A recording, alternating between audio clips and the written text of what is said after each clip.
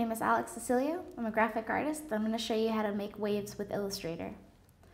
So the first thing that I'm going to do is go to the line segment tool and hold, holding down shift I'm just going to click and drag a line out.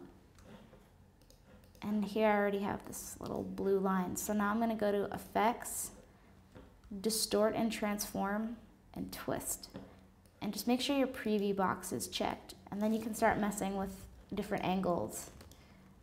Um, and so right now I've got this 55 degree angle, but I'm gonna hit Command Z just to undo it and then go back to Effect, Distort and Transform, Twist, try a smaller angle. Let's try 35. And so now I've got my wave shape and then if you wanted to make this more like actual ocean waves, you can just hold down Option, and this will make the little, uh, a direct copy of your shape.